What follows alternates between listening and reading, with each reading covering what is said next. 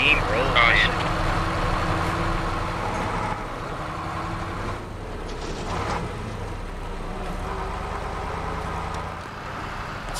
Alright, well, whoever that is, we're leaving. Guys, can we cross this river, or is this, or is it too, uh, too deep? That one might be too deep. Alright. Actually, hold on. I think they designed that one so it kind of slow you down so you'd have just one entry point. Fuck. Fuck.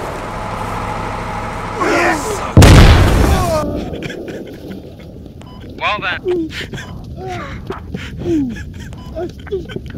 That's one way to find out. oh my god. I'm taking the tank with me.